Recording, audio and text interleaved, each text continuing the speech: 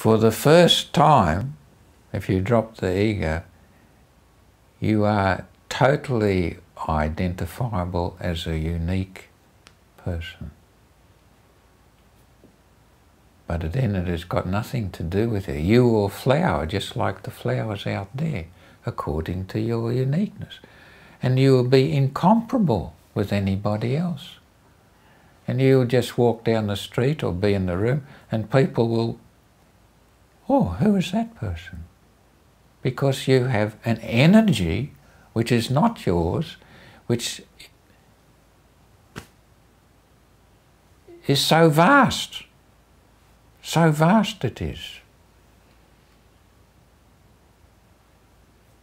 It keeps replenishing itself over and over and over again.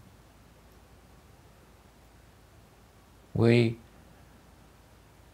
look through the keyhole with our senses of a door and say, what I see is reality.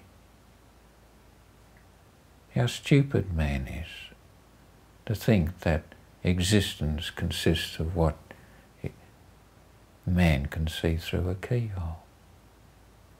This very moment, if you have a little radio, it will play. Switch it on. That means the radio waves are passing through the walls. Now this we know. What other things are passing through? Immense, you know, you're breathing in, you know, like Patanjali describes, you breathing in a prana, whatever that is. But that prana is what is giving you life. You stop breathing, body dies. So somehow or other the breath is bringing in you, as connecting you with life itself. So if the body is a bridge, what is it connecting? Well, this is the fear of the ego. You give up the ego, you have the whole of existence. What are you worried about?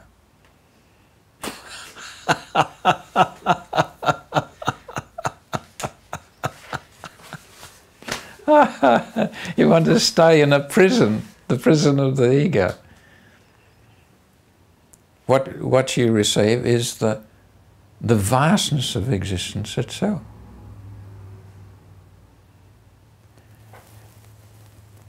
and you start discovering what life is. While you have an ego, you don't know what life is. You're living out of your learned reactions. Learned reactions are not life.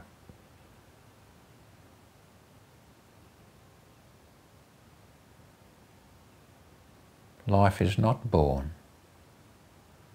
Life does not die. What is this thing within you which isn't born and doesn't die? That is your job. Fall into that space, you will not be worrying about your ego. You will not be worrying about your personality.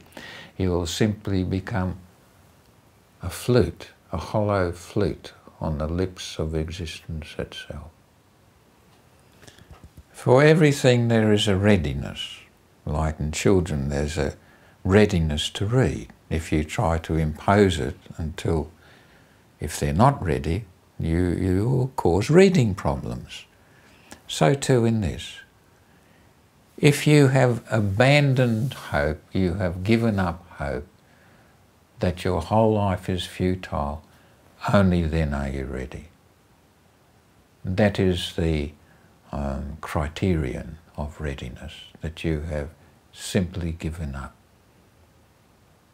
This is what Patanjali describes beautifully. Only when you see you have tried in every possible way to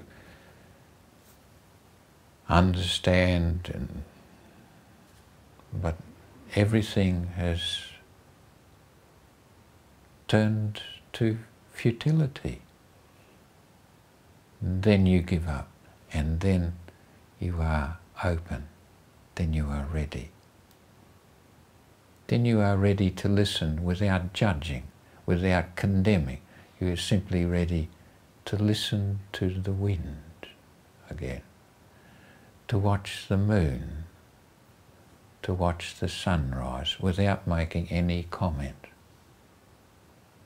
You are ready to sit in the presence of someone without an ego, without asking anything or doing anything, just sitting and just sitting and being in the energy field of such a person, you start, begin to vibrate with that same resonance. So you have to be ready. It is not, you cannot impose it in any way upon the, the, all of humanity. There has to be a readiness. And again, like I said before, your pain and your suffering are your best teachers. How to get out of pain and suffering. That is readiness when you try in every way and it hasn't worked. How